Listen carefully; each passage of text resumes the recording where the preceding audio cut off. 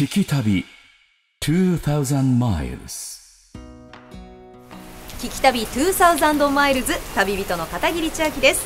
今日はですね名古屋駅から車でおよそ45分のところにあります建物の博物館。明治の世界を堪能できるという明治村にやってきました。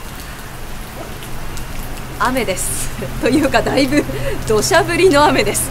いくら梅雨って言ってもねこんなに降らなくてもという感じなんですがどんな旅になりますか？さあ今私がいるのは第八高等学校という文字が書いてある今の名古屋大学にあたるその学校の門が使われている正面なんですね。赤茶色のレンガが雰囲気出てます。今日は明治の世界をたっぷりと堪能していきたいと思います。では行ってきます。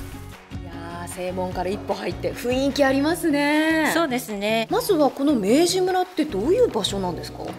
そうですね。この明治村の建物というのは、えー移築という形をとったもので、すべてが本物なんですね。昭和の30年代、高度経済成長と呼ばれている時代に、明治建築というのは、えー無残にも壊される運命にあっていたわけです。初代の館長であった建築家の、えー谷口義郎という方がいらっしゃったんですけれども、はいその方がそれではいけないということでそういったものを救済したいというのを名古屋鉄道の副社長であった土川元夫というものに金沢大学の同窓生だったということでその同窓会でその思いを土川に話したわけです。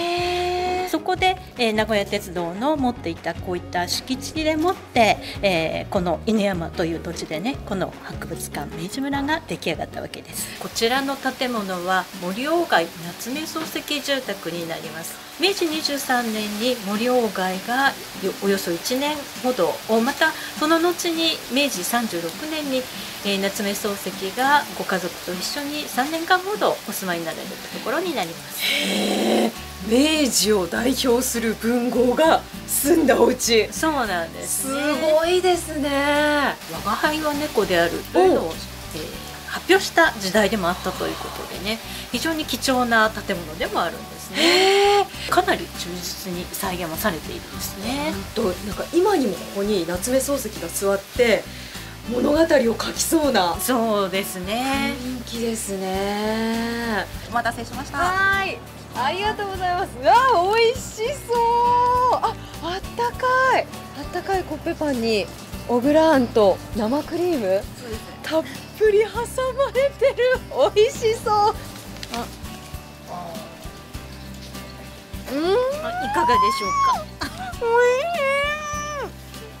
小倉あんいい甘そうですさね。この生クリームと小倉がたまらないですよね、生クリームの甘さとコッペパンが噛むとふわっとしてて美味しい。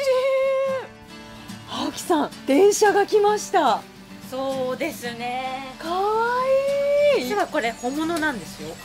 えー、もともとねこれ京都のあのバンコク環境博覧会というのが催されまして、うん。えー平安神宮のあたり岡崎というところに、えーその会場があったんですけれども京都駅付近からそちらをつなぐ足として使われたのが初めと言われています。おおあギシギシいってる。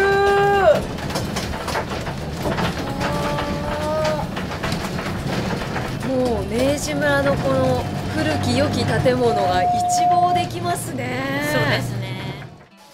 さあ呉服座と書いて呉羽座という建物にやってきました芝居小屋ですね。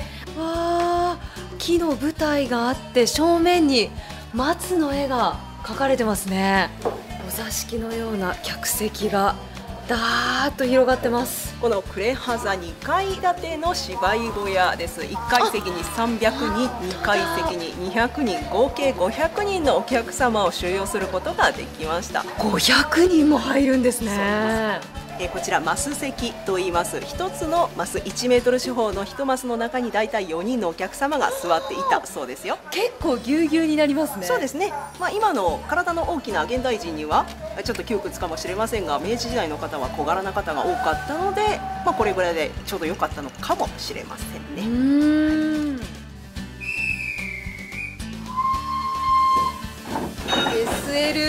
出発しました。いよいよ出発しましね。ね今日の蒸気機関車というのは12っていうのが見えてるんですけれども、はい。イギリスのシャープスチュアート式、えーシャープスチュアート会社というところが、えー制作したもので、うん。えー輸入品なんですね実は。へえこの私たちが今乗ってるこの車両も先頭部分も明治時代のもの。そうです。えー、じゃあもう100年以上？うそうですね。わーすごい当にラッキーですね。あーまた景色も綺麗だな。一日ぐるっと回らせていただいてここ帝国ホテルといえばあの東京の日比谷に開業した超一流の伝統あるホテルですよね。そうですね。今日は一日回らせていただいてすごく楽しかったです。よかったです。うん。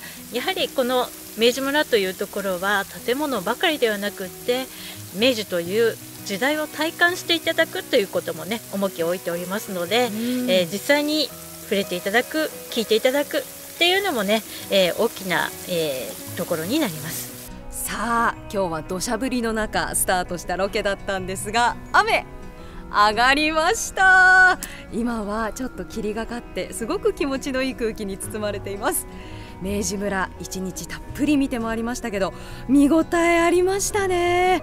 歴史ある明治の建物を見て見るだけじゃなくていろいろ体験したりお話を聞いたりして令和の時代に入ったんですけど今こうやって明治の時代に思いを馳せて体験して体感するっていうこのタイムスリップの旅本当楽しかったですね。皆さんもぜひこの明治村出かけてみてください。聞き旅2000マイルズ。旅人は片桐千秋でした。